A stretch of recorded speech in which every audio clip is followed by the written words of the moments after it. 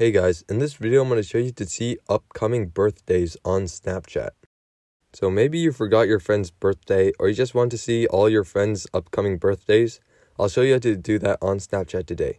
So first things first, go to the Snapchat app and then go to the chat feed. So once you are on the chat, find someone to text. You can text anybody, but I would suggest texting yourself so that nobody knows what you are doing. So first things first, go to your chat and then all the way to the right of your text bar, there should be a little rocket. If you click on that, then these mini games will show up right here. You're going to want to scroll down until you see birthdays. As you can see, it's right here. And once you find it, you can just open it.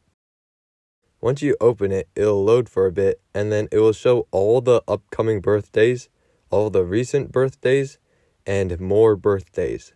So you can see all your friends' birthdays right here. So there's a couple other things that you can do as well, but that's how you can see all upcoming birthdays on Snapchat. And then once you're done, you can just leave the birthday app. And once you click leave, it will show that you had a session in the birthday app. So that's why you want to text yourself. So I hope this video was helpful. If it was, I'd really appreciate a like and subscribe.